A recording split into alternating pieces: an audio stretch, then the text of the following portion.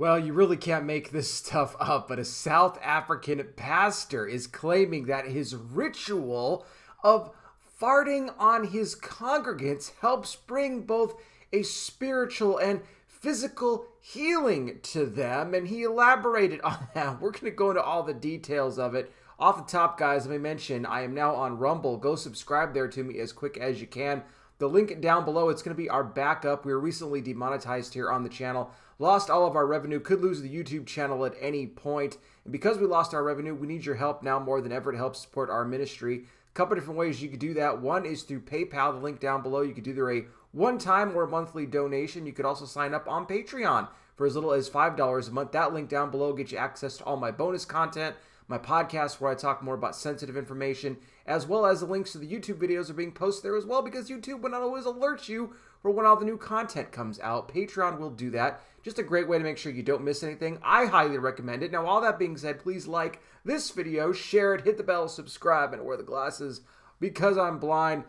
Uh, let's talk about this pastor. Now, he's going by the name of Christ Penelope, okay? That's the name that he's going by here.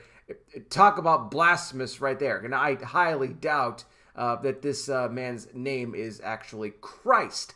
But he claims that in his services, he is the founder of also a sevenfold Holy Spirit ministries, that this is his ritual. His way of demonstrating God's power is by farting on members of the congregation. Yes, and he says that he lures them to sleep and then will either stand on top of them or sit on their face and pass gas on them. But then when they wake up, they completely are healed from whatever it was that they were suffering from, spiritually, physically, whatever the ailment was, it is completely gone. And he even went so far as to say that it's very important that during the ritual that you make sure that you get the fart as close to the nostrils as possible. Well, of course, right? I mean, it has to have the full effect.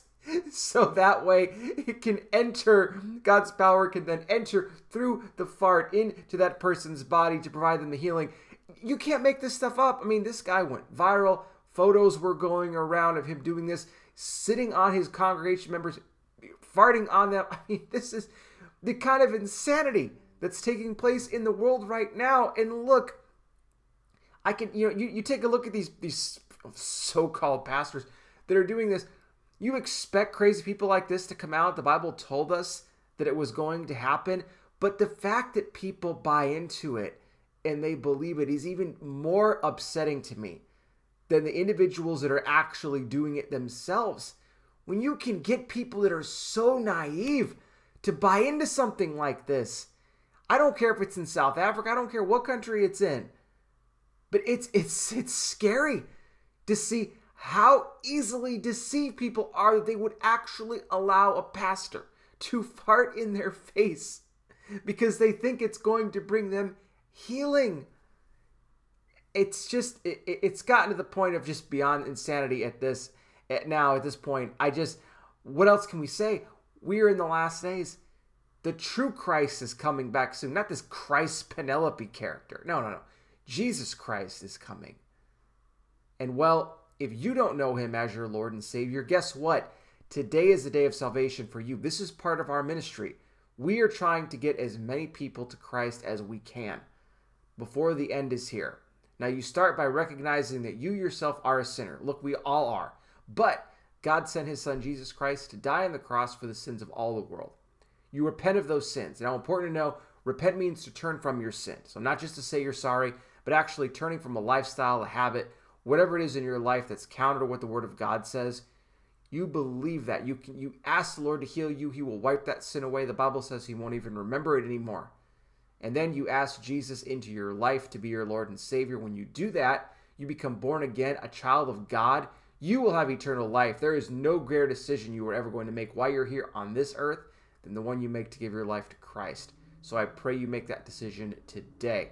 Guys, let me know what you think about this pastor, uh, the uh, so called healing farting ritual he does. And don't forget the links to donate to our ministry are down below as well, along with link to my Rumble page.